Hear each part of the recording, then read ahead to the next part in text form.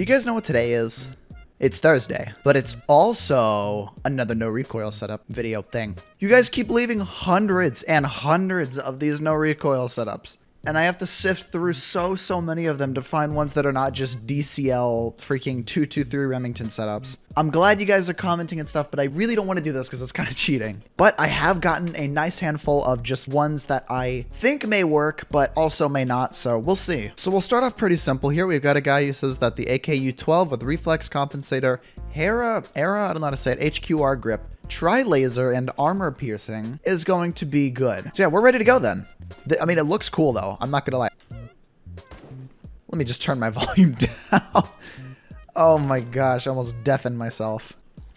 Hmm, okay. I see.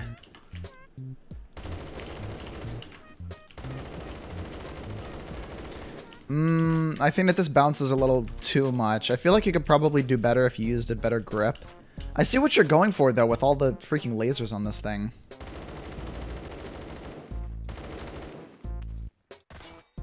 Bye. What? Oh, he fell. Okay. I thought he just disappeared. But no, I feel like there's a little bit too much bouncing on this. You could you could improve this a little bit. I'll give you half a point. So I think that I've done the M4A1 before. I could be wrong, but this guy says that this is what he personally uses. He says M4A1, PSO scope, ARS suppressor, vertical grip, blue laser, and default ammo. I have my doubts. Oh, wait a minute. Hold on a second.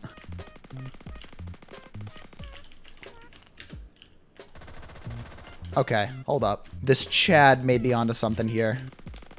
Using a freaking scope on the M4A1. Oh my gosh. Okay. I mean, credit where it's due. This isn't terrible. I mean, it's it's visibly more recoil than the other, but granted, you are using a freaking scope. I hear somebody below me. Bye. No, I mean, you can hit your shots with this, but like, I don't feel like I could classify this as no recoil. Half a point for you, my good sir. All right, so I've done setups before where I've misread something, but here, I know I'm not reading this wrong. His no recoil setup is AK with VCOG, fold grip, and R2 suppressor. And that's it. That's all that he said here. No other, no ammo type. So somehow he says this is going to have no recoil. I doubt this. What? What? How? How are you going to tell me that this has no recoil? Oh, geez, that nearly gave me a heart attack. How? How dare you? Even tap firing. You have to tap fire so slow in order to get this to like... There's three of them right there. Okay. Okay, no. I'm determined to finish this. I, I want to I wanna see what this man... No! No, you're wrong. you're wrong. He's right there. And I... Okay. I've gone through almost all my ammo. And I've gotten one kill. And I'm dead. How dare you? Alright, so this guy says here, UMP-45, which is a gun I barely used, with reflex compensator, stubby grip red laser, and special ammo. Okay, that is really low recoil. I know this is mostly just to determine if it has no recoil, but what's the point in using it if you can't kill anybody with it? Okay. Its time to kill is a little bit low, it feels.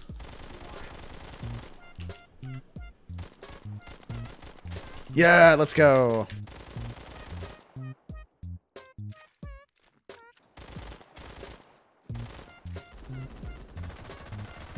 Okay, wrong gun there.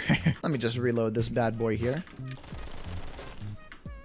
Yeah, this isn't too bad. You have earned a point. A no recoil point. I don't know. This guy, I'm not, I don't think I'm reading this wrong. MP5 plus vertical grip, EOTech, and laser is no recoil. He does not have a barrel attachment. And he also didn't use commas, so since he said plus, I'm putting plus P on. No barrel attachment, okay. He didn't specify which EOTech either. Hmm, maybe. We will see.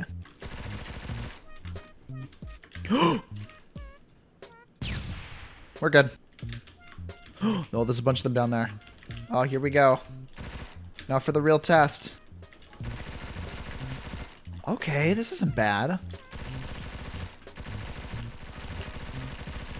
Yeah, even at a range, this is okay. I mean, maybe I shouldn't be, like, flying side to side. Oh my gosh, this isn't bad. I don't really use the MP5 too much, but that's not bad. Credit where it's due, man. So this one, I doubt. I, I doubt this one, but I, am willing to try it. This guy says RPK with reflex, muzzle brake, stubby grip, blue laser, and hollow point. Mmm, I'm seeing some recoil, my man. I mean, don't get me wrong, this thing does a ton of damage. It's not that, it's it's that, it's just, like, it just goes everywhere. There's a bunch of them above me, holy crap.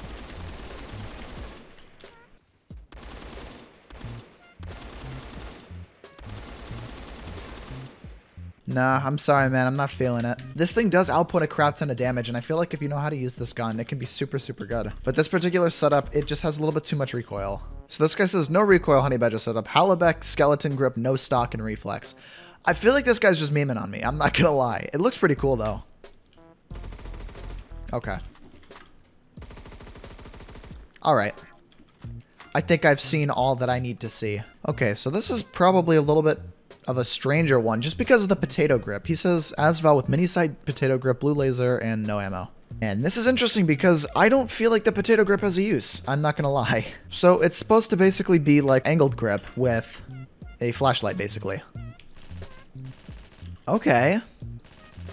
Okay. Okay. So I've done a video before on the SR3M a very long time ago, which is a gun that I really, after that video, just didn't really use. I kind of got bored of it. But it is a point and click adventure with that gun, and the Asval is just an SR3M but with a long suppressor on the end. Now the issue I have with this gun is the lack of ammo, but the lack of ammo does not change the fact that the Asval is a bit of a laser pointer. No pun intended. This is just pretty swag, not gonna lie. Though I wouldn't mind using the 30 round magazine on this. Look at that. The damage is pretty okay as well. So, you know, there's that too. This is pretty nice. So our final setup here that this guy recommends us use is the knife. Now this one I have my doubts about. There might be quite a bit of recoil. I don't know. But I'll use on this special occasion of the no recoil knife, my bugged Karambit. now this was actually the first legendary I ever unboxed. And at some point over the years of me playing Phantom Forces, it's bugged. It's considered a purple now. It says it's uncommon and there's no icon for it. And I also unboxed this one the other day, which is also bugged. But you know what? I'm happy with this, honestly. I'm, I'm glad that I have something that's bugged like this. It's a pretty bad melee, and its really only selling point is the fact that it looks cool. Yeah. Yep, yep, there we go. Yo, let's go. So the thing that's not great about this is, if I remember correctly, I'll probably have to check after this, but the Karambit's supposed to have only like a one stud hit radius. So whereas things like the Fire Axe, you can hit from like, you know, God knows how many studs away. I'm sneaking up on this man. He don't know nothing. You know, the Karambit, you have to be right on top of people to be able to do any damage with it. That being said, though, I think that this guy might be right. I'm not seeing much, if any, recoil. You know, it's much easier to main a melee than I thought it was. I'm not gonna lie. I have yet to die since I used this. That's teammate. Hi.